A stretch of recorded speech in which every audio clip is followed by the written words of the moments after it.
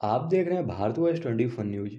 Sonbhadra में आगामी चुनाव के दृष्टिगत पुलिस अधीक्षक डॉक्टर यशवीर सिंह के निर्देशन में अवैध मादक पदार्थों की तस्करी करने वाले तस्करों के विरुद्ध सोनभद्र पुलिस के निरंतर प्रहार की कड़ी में अपर पुलिस अधीक्षक मुख्यालय कालू सिंह व क्षेत्राधिकारी घुरावल अमित कुमार के पर्यवेक्षण में 10 जनवरी को थाना शाहगंज पुलिस द्वारा मुखबिर की सूचना पर वाहन चेकिंग के दौरान ग्राम बनौरा में राप्टसगंज शाहगंज मार्ग पर पुलिया के पास से एक अदद डीसीएम वाहन संख्या नंबर ओडी ज़ीरो दो सी बी पचपन छत्तीस से तीन अंतर्राज्यीय अंतर जनपदीय गांजा तस्कर को एक कुंटल चौवालीस किलोग्राम अवैध गांजा अनुमानित कीमत पंद्रह लाख रुपए के साथ गिरफ़्तार कर विधिक कार्रवाई की जा रही है। थाना कर्मा क्षेत्र में कल तीन तारीख को चेकिंग के दौरान तीन लोगों की पुलिस ने गिरफ्तारी की है। तीनों नए उम्र के लड़के हैं, मिर्ज़ापुर के रहने वाले हैं।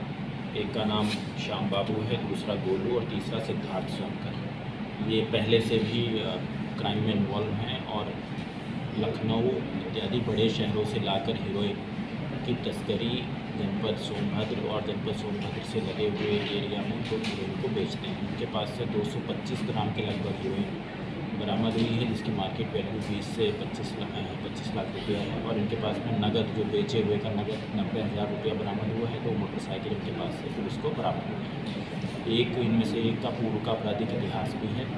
इस तरीके का ये गैंग पकड़ा गया है जो तस्करी करता है मादक पदार्थों की। गिरोह के कुछ लोग और चिन्हित हुए हैं? हाँ इन्होंने जिनका नाम अभी बताया है पुलिस को जो लोग लखनऊ और बाराबंकी क्षेत्र के हैं, जहाँ से लोग सप्लाई लेते हैं। उन लोगों को अभी पकड़ना, गिरफ़्तार करना शेष है।